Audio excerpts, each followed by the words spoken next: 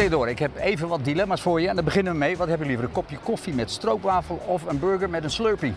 Altijd een Slurpee. Oké, en dan een World Disney of Cape Canaveral? Disney World. Always. Townhouse aan de golfcourse in Orlando of een Art Deco eh, huis in Miami? Art Deco, chic. En dan bergen beklimmen in Oostenrijk of zeg je golf in Florida?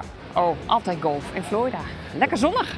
Florida prevaleert bij jou, maar dat heeft een reden. Je bent daar naartoe geëmigreerd. Hoe lang is dat geleden? Hele tijd geleden. Uh, meer dan 40 jaar geleden.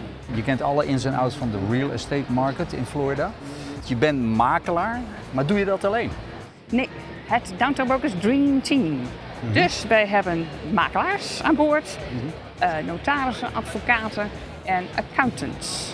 Dus Nederlanders die geïnteresseerd zijn om een huis in Amerika te gaan kopen, denken het is ver weg, moeilijk, ik ken daar niks. Jouw hele team neemt het over van A tot Z. Ja, je zegt ik wil een huis, ik wil een pand, ik wil een business in Florida en wij nemen over. Maar hoe zit het dan met, met, met het koopproces? Is de American way of selling houses, is dat anders dan bijvoorbeeld hier de makelaars die op de beurs staan en in Europa hun business hebben? Heel anders. Alles erop en eraan, veel meer op de markt, veel meer keuze. En dan moet je dus ontcijferen welke keuze er jou is. Ja, en die grote keuze is niet alleen rondom Orlando. Waar opereer jij vooral? Florida. Heel Florida.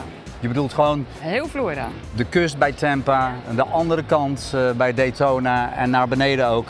En de deco in Miami, absoluut. Het Art Deco. Laatste vraag. Jij hebt een slogan die is beroemd. Hoe ging die ook weer? Visit the mouse, buy a house. En de, de mouse. Dan moeten we erbij zeggen, visit the mouse, dat is Disney World. Als je toch naar Disney gaat, koop dan gelijk een huis in Florida. Dankjewel Theodora. Graag gedaan.